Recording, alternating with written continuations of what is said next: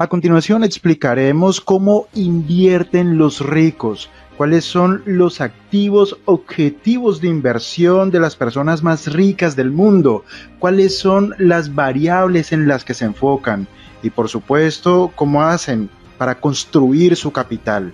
Estas son algunas de las preguntas que responderemos a continuación.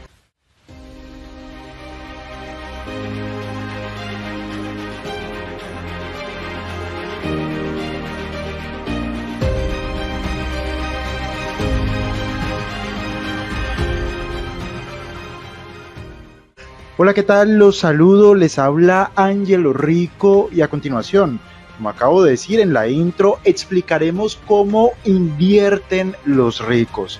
Y todo esto porque últimamente he reflexionado acerca de algo que yo personalmente vengo utilizando como estrategia de inversión hace algunos años, pero que ahora con la crisis ocasionada por el coronavirus comienzo a entender cuál es el verdadero valor que tiene esta estrategia de inversión. Y ahora que apenas lo comienzo a asimilar, es que entiendo el gran valor que puede significar para cualquiera de ustedes tener ese conocimiento y por supuesto aplicarlo. A continuación hablaré de los aristócratas del dividendo. Entre las muchas estrategias que se pueden seguir cuando invertimos en bolsa, Invertir en empresas que reparten un buen dividendo suele ser una de las mejores estrategias. Y en este punto resaltar lo siguiente. Recordemos que las personas ricas, las personas verdaderamente millonarias, se enfocan en construir activos, se enfocan en coleccionar activos, pero tan importantes como las dos anteriores, se enfocan en invertir en activos que son grandes generadores de flujos de efectivo. Las personas verdaderamente ricas, sobre todo cuando invierten en bolsa, no se enfocan tanto en la revalorización del capital, sino que ellas se enfocan en invertir en aquellas compañías o lo que es lo mismo, en aquellas acciones que suelen pagar la mayor cantidad de dividendos, pero que además tienen un historial de pago continuo de dividendos, donde además estos dividendos año con año van creciendo. A los ricos les interesa, por lo tanto, el flujo de efectivo. No les interesa si el precio de las acciones sube o si el precio de las acciones baja. Pero muy al contrario de lo que suelen pensar sobre todo los pequeños inversionistas o las personas que apenas comienzan en este negocio muy al contrario de lo que supone la sabiduría popular. Las personas pobres, los que se inician y los pequeños inversionistas deberían invertir como invierten los ricos. Porque aunque como pequeños inversionistas, es decir, como personas que apenas tenemos un pequeño capital para invertir, y que por lo tanto nuestro enfoque se encuentra en la valorización del capital, cuando nosotros escogemos como objetivo de inversión este tipo de acciones que se denominan aristócratas del dividendo, nos encontraremos con que este tipo de acciones, compradas sobre todo en época de crisis, son las que primero se recuperan y por lo tanto son en temporada de crisis las que mayor potencial de valorización nos ofrecen en el corto plazo y esto lo explicaremos con detalle justo hacia el final de este video, así que no te puedes perder ni un solo minuto. Las empresas, por lo tanto, con negocios maduros y estables, suelen adoptar una política de reparto de beneficios mediante dividendos. Y es precisamente este tipo de estabilidad y capacidad en el reparto de dividendos lo que atrae a muchos de los inversionistas, pero especialmente a los inversionistas más ricos a comprar sus acciones. Piensen lo siguiente, estas acciones son muy apetitosas para las grandes fortunas. Entonces cuando ocurre una crisis, las grandes fortunas entran inmediatamente a comprarlas y esto es lo que propicia su rapidísima valorización. El reparto de dividendos por parte de una empresa de manera sostenible Sin embargo, está vinculado directamente a la evolución de su negocio. A lo largo de los años, en función de la situación general de la economía, muchas empresas se ven obligadas a reducir o a recortar su dividendo, precisamente por los tiempos difíciles que suelen vivir las economías. Sin embargo, existen algunas empresas que han conseguido no solo mantener su dividendo a lo largo de los años, sino que también incrementarlo de manera consistente. Y aquí es donde entran los aristócratas del dividendo. Se les denomina, por lo tanto, aristócratas de dividendo aquellas compañías cotizadas que han incrementado sin interrupción su dividendo a lo largo de los últimos 25 años. Estas compañías han mantenido una política consistente a lo largo de los últimos 25 años en lo que respecta a repartir dividendos por acción año por año. El número de empresas que logra esta verdadera hazaña económica es lógicamente muy reducida. Muchas compañías que reparten dividendos en algún momento se ven obligadas o a congelarlo o a reducirlo cuando tienen problemas puntuales de mercado, de liquidez, de producto, etc. Esta es una de las razones por la que una estrategia de invertir en empresas que reparten dividendos no está exenta de riesgo. Las trampas del dividendo pueden terminar por convertirse en inversiones problemáticas. Y en este punto te tengo que hablar del índice Standard Poor's Dividend Aristocrat. Standard Poor's lanzó en el año 2005 un índice llamado Standard Poor's Dividend Aristocrat este índice está integrado por aquellas empresas que pertenecen al índice SP500 que cumplen con los requisitos para ser aristócratas del dividendo. Al día de hoy, este índice incluye a más de 50 compañías con nombres tan legendarios como Walmart, Coca-Cola, Chevron, Johnson Johnson, AT&T o McDonald's. En el año 2019, cuatro compañías han pasado a formar parte de este exquisito índice, entre ellas Caterpillar y United Technologies. En los últimos 10 años, la rentabilidad del índice Standard Poor's Dividend Aristocrat ha sido superior a la del Standard Poor's 500 que todos conocemos y lo han sido por más de un 3% anual, tal como se aprecia en este gráfico, del cual tenemos datos desde el año 1930 aquellas compañías que de manera consistente reparten dividendos y estos dividendos son reinvertidos. Estas compañías tienden a ofrecernos rendimientos año a año muy superiores al que nos ofrece el índice Standard Poor's 500.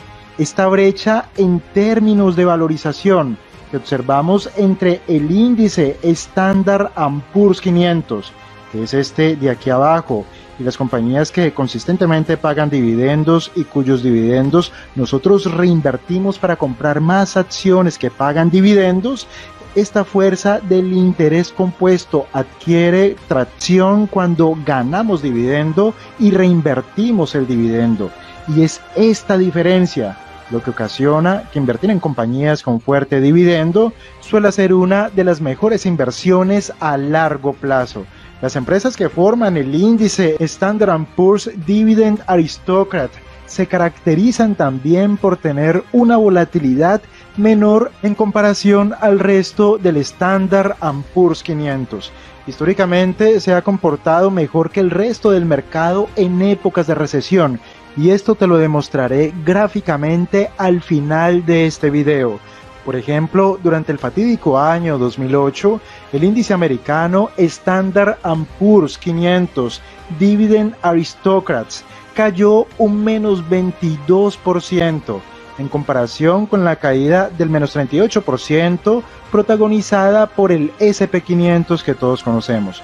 Es por esto que en momentos como el actual, el que ha sido provocado por este virus del coronavirus, en el que se especula con que los países desarrollados están no muy lejos de agotar un ciclo económico expansivo, tenga quizás más sentido valorar este tipo de estrategias e incluir acciones aristócratas del dividendo en nuestras carteras o en nuestros portafolios. Los requisitos para formar, y esto es solo para conocimiento general, los requisitos para formar parte del índice SP500 Dividend Aristocrats son los siguientes. Primero, haber incrementado el dividendo por lo menos durante los últimos 25 años de manera consecutiva. Segundo, formar parte del índice SP500. Tercero, tener una capitalización bursátil de al menos 3 mil millones de dólares. La compañía Standard Poor's también elabora versiones europeas de su índice de aristócratas. El principal de ellos es denominado Standard Poor's Europe 350 Dividends Aristocrats Index. Sugiero revisar su composición. Hacia el final de este video mencionaremos una por una las compañías que pertenecen al índice del SP500 americano. Este índice europeo incluye valores del Standard Poor's Europe 350 que llevan incrementando los dividendos de manera ininterrumpida durante los últimos 10 años. Existe una mayor tradición de pago de dividendos en los Estados Unidos que en Europa. Históricamente, este índice de aristócratas, el europeo, ha conseguido una rentabilidad de 0,52 puntos porcentuales más al año que el índice principal de la bolsa, en este caso el SP Europe 350. Pero existe otro índice denominado Standard Poor's Euro High Yield Dividend Aristocrats Index. Este contiene los 40 valores con mayor rentabilidad por dividendo del índice Standard Poor's Europe BMI que cumplen la regla de no haber reducido el dividendo en los últimos 10 años. Ejemplo de estas compañías en Europa es Enagas, Danone o Siemens. Y otro índice que sugiero revisar y analizar es el Standard Poor's UK High Yield Dividend Aristocrats Index. Forman parte de él las 30 compañías del Reino Unido que pertenecen al SP Europe que mejor rentabilidad por dividendo presentan, con el requisito de no haberlo reducido en los últimos 10 años. Algunos ejemplos de estas compañías son British Telecom, Marks Spencer o British American Tobacco.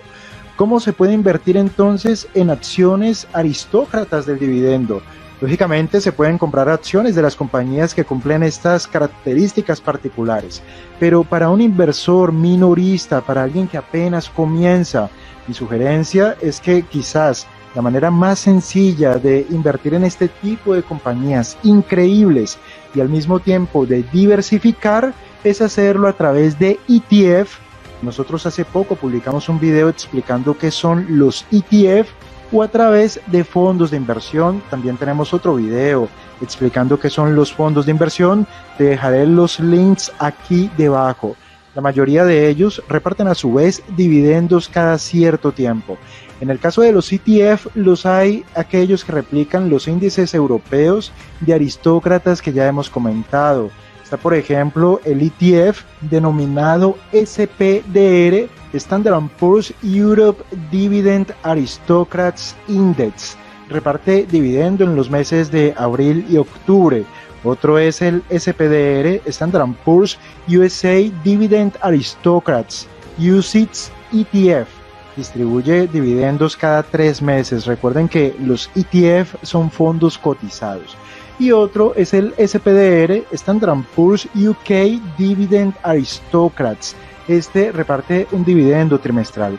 En cuanto a fondos de inversión, existen muchísimos fondos de inversión que centran su política de inversión en compañías con alta rentabilidad por dividendo, pero no necesariamente compañías aristócratas. Puedes encontrar algunos de ellos como parte del portafolio de Fidelity, por ejemplo, con su fondo el Fidelity Global Dividend o está el DWS Top Dividend.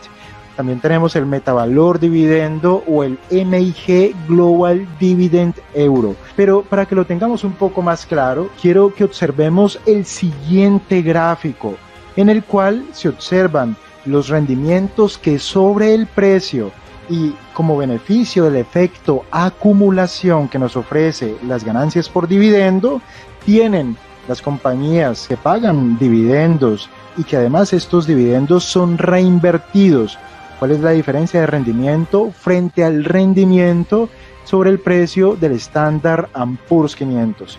Observen, estas son las diferencias de rendimiento para un año tenemos 11,49% para compañías con dividendo reinvertido frente al estándar Poor's 500 global. Aquí está el rendimiento a 3 años, 38% frente a 26%, el rendimiento a 5 años, 70% frente a 46% y el rendimiento a 10 años, 183% frente al 106%. Es el rendimiento total con dividendos aquí arriba y con todo tipo de compañías que pertenecen al SP500 aquí abajo. Reinvertir el dividendo es lo que hace la diferencia porque prácticamente duplica el valor de la inversión. Y a continuación vamos a revisar cuáles son las compañías, las 57 empresas que pertenecen al Standard Poor's Dividend Aristocrats el objetivo es que las investigues, las analices, las revises, tienes que conocerlas. Si invertimos en lo que invierten los ricos, seguramente a largo plazo conseguiremos los mismos resultados que obtienen los ricos, sobre todo si realizamos este tipo de inversiones ya sea a través de fondos de inversión sobre acciones, aristócratas del dividendo o sobre ETF o fondos índices sobre aristócratas del dividendo o ya sea que compremos directamente nosotros las acciones. Si realizamos este tipo de inversiones en temporada de crisis, solo por el hecho de que los ricos las compran y les apetece comprarlas a bajos precios, esto solo no digo que es una garantía, pero sí existe una alta probabilidad de que entremos en una inversión que tendrá una fuerte recuperación en el corto y en el mediano plazo. Y estas son las 57 acciones del Standard Poor's 500 Dividend Aristocrats. La primera de ellas es 3M, la segunda es AFLAC, después tenemos a AT&T, Avi, Abbott, Air Products and Chemical, Archer Daniels Midland, Automatic Data Processing, Beckton Dickinson, Brown Forman Corp, Cardinal Health, Caterpillar, Chevron, Chubb Limited, Cincinnati Financial Corp, Cintas, Clorox, Coca-Cola, Colgate Palmolive, Consulated Edison, Dover, Ecolab, Emerson Electric, ExxonMobil, Federal Realty Investment Trust, Franklin Resource Inc., General Dynamics, Genuine Parts, Grainger, WW Inc., Hormel Foods, Illinois Tool Works, Johnson & Johnson, Kimberly Clark, Leggett Platt, Lynch PLC, Lois Cos, McCormick & Co., McDonald's Corporation, Medtronic, Nucor, PPG Industries, Pentair, People's United Financial, Pepsi-Cola, Procter Gamble, Roper Technologies, Standard Poor's Global Inc., Sherwin Williams, Smith AO Corporator, Stanley Black Decker, Cisco, T. Rowe Price Group, Target United Technologies, BF, Walgreens, Boots Alliance y Walmart recuerden lo siguiente, estas compañías tienen como requisito haber tenido dividendo consistente durante mínimo los últimos 25 años, pero es que además una de sus características principales es que año a año suben el valor de sus dividendos. Son las que mayor recuperación ofrecen cuando estamos en crisis y son las acciones de los ricos. Solo por poner algunos ejemplos, por ejemplo, revisemos McDonald's Corporation que es MCD. Es una fuerte recuperación, es una recuperación en V, prácticamente ha recuperado más de la mitad de la caída.